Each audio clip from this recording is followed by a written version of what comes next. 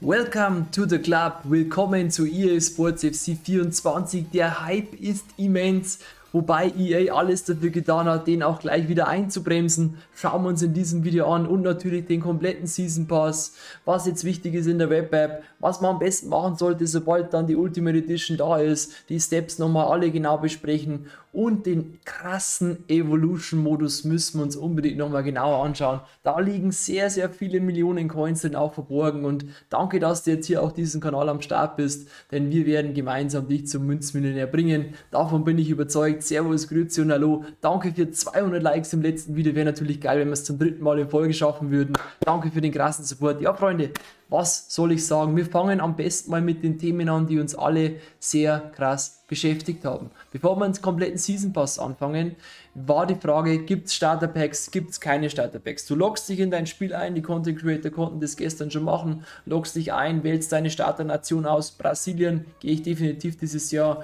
dann nimmst deinen Leihspieler, dann kannst äh, deine Trikots auswählen, deine Wappen auswählen und dann schon die wichtige Frage, willst du deine FIFA Points zu FC, FC Points umwandeln? Alle, die aufgeladen haben, bitte da unbedingt mit Ja ankreuzen. Und dann kommt schon der Punkt zu diesem Ding da, FC Founders Pack, die Gründer Packs, zwei Packs kriegt jeder von euch beim Login. In einem Pack ist drin Wappen, Trikots und Choreos etc. Alles Untrade. Im anderen Pack gibt es einen Holland Profi heißt es mittlerweile, sorry, ich meine nicht mehr Pack, Spieler, Pack, Spieler Profi.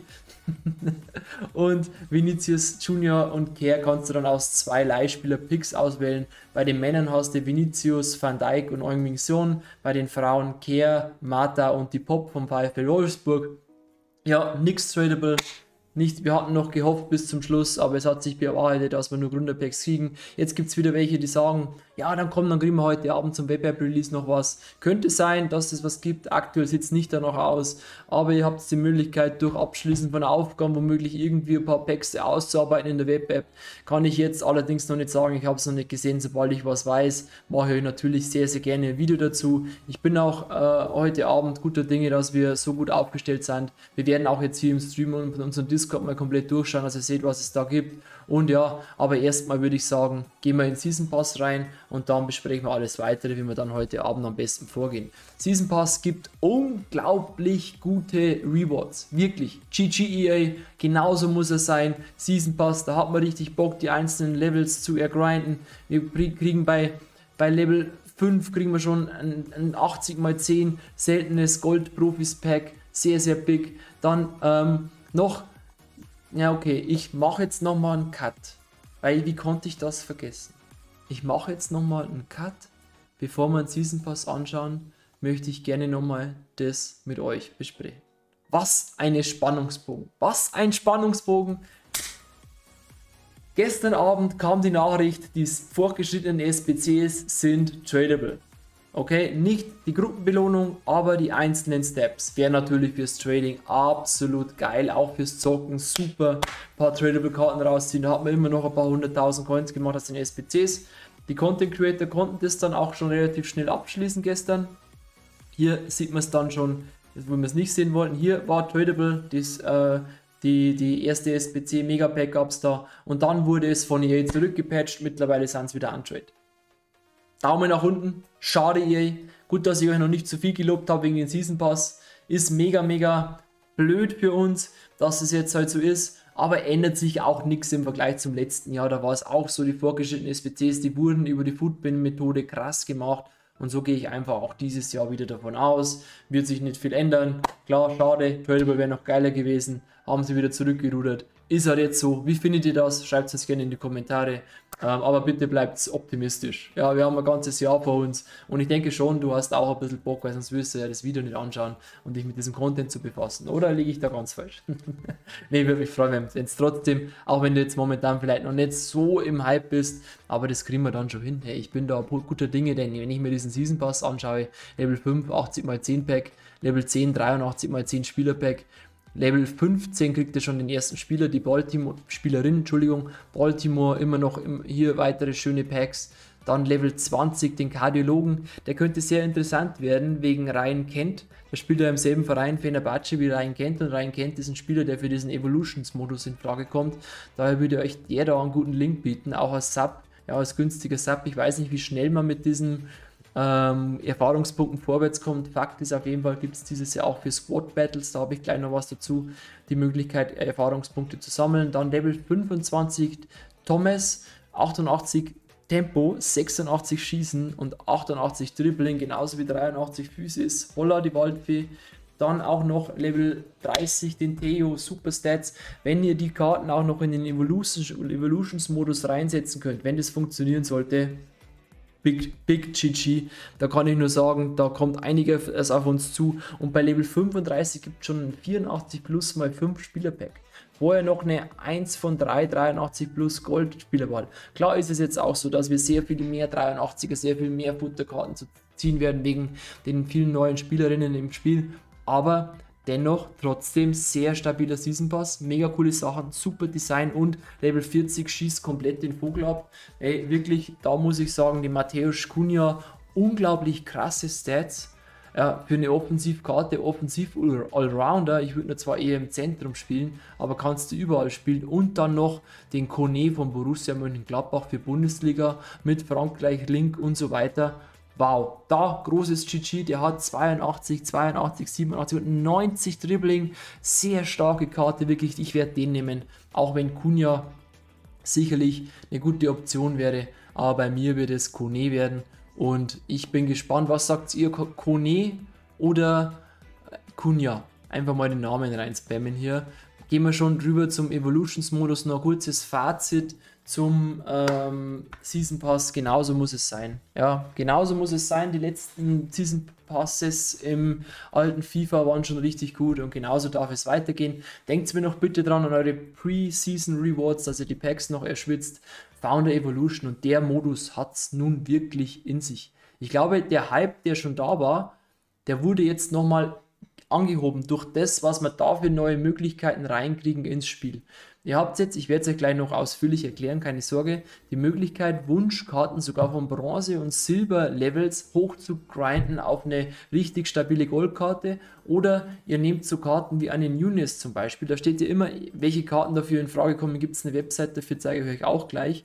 Und wenn der da reinpasst, dann könnt ihr den Nunes mit ein paar einfachen Aufgaben sehr schnell von der 82 zu einer 84 ableveln. Ihr müsst nur schauen, dass ihr Karten nehmt, die diesen Rating hier, diesen Anspruchsvoraussetzungen entfernen äh, entsprechen und ihr habt mehrere Möglichkeiten, die Evolutions. Wichtig ist, ihr könnt die Karte, sobald ihr die Karte tradable habt und ihr macht es in diesen Evolutions-Modus rein, ihr wählt es für Evolution aus, wird die Karte untradet und könnt es nicht mehr verkaufen. Und ihr könnt es auch nur jede Aufgabe, glaube ich, einmal machen. Also wirklich genau überlegen, welche Karte für euer Android-Team Sinn macht und dann den Evolutions Grind starten. Oder wenn ihr eine tradable Karte zieht, immer auch mit dem Fokus auf die Möglichkeit einer Evolution ja, abchecken. Wenn ihr da Numa zieht und ihr wollt es nicht spielen und ihr habt keine Verwendung und ihr wollt schnell die Coins, denkt dran, ihr könnt den mit dem Evolution-Modus noch äh, viel besser machen und eure potenziellen Käufer zahlen vielleicht auch einen kleinen Aufpreis, wenn er einen Chemistry-Style hat und dann könnt ihr den gleich in Evolution-Modus starten und so weiter und so fort. Also bitte immer bei den Karten abchecken, ob die für Evolution interessant sind und auch hier dieses Upgrade, was man da Numa geben kann. Unglaublich stark. Und Perisic, den könnt ihr von einer 79 auf eine 85 im neuen Bezahlmodus machen. Also ihr könnt ja jetzt mit Coins quasi, ihr müsst dann Coins einsetzen und könnt den unerbittlichen Flügel Evolution Ding freischalten und dann könnt ihr mit dem Perisic oder je nachdem einem Spieler, der halt rechts diesem Rating entspricht, könnt ihr den dann freispielen und dann habt ihr gleich noch ein viel besseres Upgrade und da gibt es wirklich krasse Karten dabei. Genauso bei Ryan Kent zum Beispiel, da habe ich gesagt, dieser Kardiologe da, der Rechtsverteidiger, den da die beiden, die links ey, sehr, sehr stark. Und Thompson, wie ich gerade schon gesagt habe, Bronzekarten, Silberkarten, eure Wunschkarten könnt ihr hochgrinden. Von Bronze, sage ich mal, von einer 64er Bronzekarte auf eine 80er Goldkarte. Wie stehen die Aufgaben aus? Level 2 Challenges, gewinne drei Partien in Squad Battles oder Rivals, sogar in Squad Battles kannst du mit drei Siegen den Karten evolutionieren. Bei Level 1 musst du einfach nur zwei Partien spielen, egal welcher Modus, vollkommen wurscht. Und dann hast du schon eine 92, äh, 72er Karte und bei Level 2 ist dann eine 80er Karte. Nach fünf Spielen, keine Ahnung, weil Squad Battles gewinnt ja in der Regel, habt ihr eine 80er äh, evolutionierte Karte. Sehr, sehr stark. Ihr könnt hier auch ein bisschen, ich bin jetzt hier auf foodgg, food.gg, da seht ihr dann die ganzen Möglichkeiten. Hier haben wir dieses Re Relentless Swinger, das kostet 50.000 Coins oder FC Points. Und dann habt ihr unten die Karten, die da, mit denen ihr die ganzen Upgrades machen könnt. Ja, einen Bergwein hat zwar nur 4-2, aber diese Stats oder die Fuller, Feller, schaut euch mal die Feller an, die einfach 95 Pace hat, 84 Schießen, 88 Dribbling, zwar nur 3-3, aber unglaublich starke Stats und da habt ihr wirklich einmal die Möglichkeit durchzustöbern. Hier ist die Evolution von Ryan Kent nochmal zu sehen, der hat 4-5, sehr, sehr stark. Oder ihr geht auf Pacey Protector, da seht ihr dann gleich einen Cialini, den ihr von 80 Gesamtwertung mit 64 Pace auf 82 Gesamtwertung plus 2, aber 79 Pace geben könntet. Unglaublich. Ja, wirklich geile Möglichkeiten.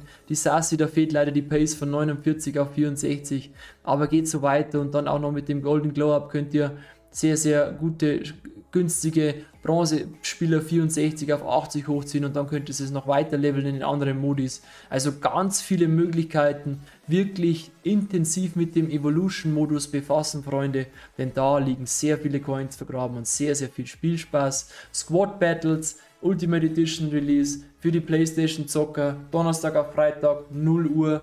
Vielleicht schon durch EA Play ein bisschen früher, da gab es Gerüchte, habe ich allerdings nichts Offizielles bestätigt jetzt hier. Wir gehen davon aus, dass ihr dann reinkommt, macht eure FP-Points und dann versucht ihr ein Android-Team zu gestalten. Durch, keine Ahnung, schließt ihr erst die Aufgaben ab. Wir haben hier die Meilenstein-Aufgaben, da kriegt ihr ein 100k-Pack, ein 55k-Pack und so weiter. Die Aufgaben schließt ihr dann ab, habt schon mal ein Android-Team und mit dem spielt ihr dann Squad Battles. Warum? Weil Squad Battle Rewards am Sonntag kommen und wenn ihr Elite einschafft, kriegt ihr ein 2 Real Players Pack und 22.000 Coins. Das ist brutal und daher ist äh, die, die, die Zielgestaltung natürlich die Androids zu haben. Sprecht euch gerne in unserem Discord ab. Wenn ihr jemanden habt, mit dem ihr die Aufgaben zusammen machen könnt, geht es viel schneller. Dann baut euch das Android-Team und dann nebenbei machen wir noch ein bisschen Snipen, ein bisschen UV-Liste bauen. UV-Liste kommt wie gesagt hier auf meinen Kanal am Freitag oder Samstag eine komplette. Bitte die Glocke aktivieren, dass ihr es nicht verpasst.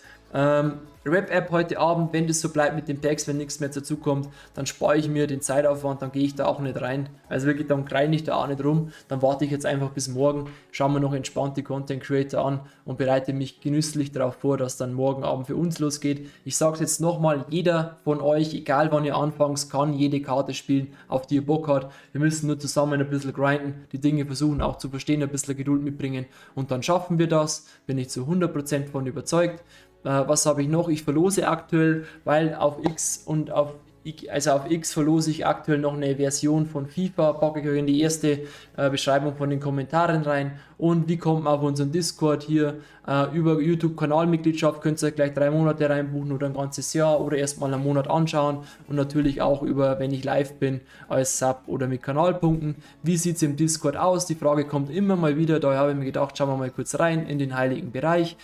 Ihr joint in Discord dann, also ich mache hier immer meine Lives-Ankündigungen, da könnt ihr immer bei Event schauen, wann ich dann live gehe. Du kommst dann hier rein, dann ordnest du erstmal bei Kanäle und Rollen, Playstation, Xbox, PC, da ordnest du erstmal zu und dann siehst du hier schon die neuen Mitglieder, kannst auch mal auschecken und beim Eingang solltest du dann drin sein, okay? Wenn du über Kanalpunkte reinkommst, schreibst du da rein, hey, hab ähm, über äh, XY äh, Abo abgeschlossen oder nein, habe Kanalpunkte oder habe gewonnen, ein Gewinnspiel gewonnen oder habe es in YouTube. Ich werde übrigens noch einen aus dem heutigen Video anschreiben, der den Spot gewonnen hat. Wenn das Video hier wieder 200 Likes schafft, dann kriegen wir wieder einen nächsten Spot. Okay, mache ich jetzt immer so die nächsten Tage. Dann könnt ihr weiter durchströbern, die Regeln durchlesen, Discord-Info, Discord-Feedback von unseren Zuschauern ein bisschen anschauen, dass ihr einfach seht, dass es uns immer sehr, sehr wichtig ist, auch die Möglichkeit zu bieten, Feedback zu liefern und wie es den anderen so erging. Dann habt ihr hier die Regeln, die unbedingt durchlesen. Hier findet ihr zu unseren Lives. Ja, und dann geht es ins Trading. Dann habt ihr hier, da kommt dann die erste UV-Liste rein, da habt ihr auch schon weitere Listen mit Karten, die sehr interessant werden fürs Trading, hat der MMTV ausgearbeitet. Dann gibt es auch noch Möglichkeiten, aufzuzeigen, welche Karten man lieber nicht kauft und so weiter, haben wir auch schon ausführlich besprochen. Bei mir ist ein Bereich, ich habe heute aufgezeigt die Wichtigkeit von den Squad Battles, was ich jetzt auch gerade gesagt habe, so quasi ähm, so die Sachen, ein bisschen so auch mit den Packs, wo man machen kann, was für Möglichkeiten gibt, die man gehen kann. Ich werde da heute Abend auch live für euch zu sprechen sein. Ich mache um 18.15 18.45 Uhr den Live-Call und schauen wir uns die Werbep gemeinsam an und hier gibt es einen Bereich für Fragen. Auch unser weiterer Partner, jetzt Jules, unser neuer Partner, hat einen Bereich fürs Trading und der, der will wird hier Marktanalysen droppen, wann ihr Karten verkaufen sollt, wann lieber nicht kaufen.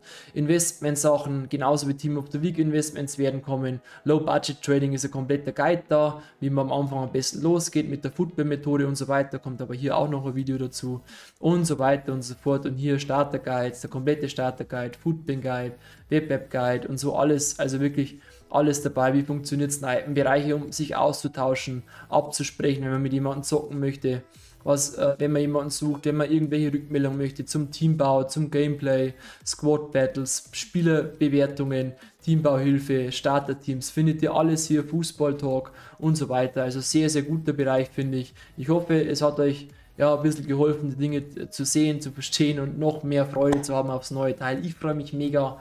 Gerne noch Video liken, wer es noch nicht gemacht hat, und Kanal abonnieren. Bis morgen spätestens im Live. Peace out.